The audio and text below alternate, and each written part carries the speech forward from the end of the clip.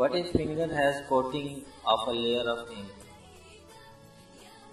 Flour coating on a cook's nail, ink coating on a writer's nail, and stains left by flies and mosquitoes for everyone will not affect ghusl if left unwashed out of inattention. However, on coming to know about it, it is necessary to remove the coating, stain and wash the surface underneath.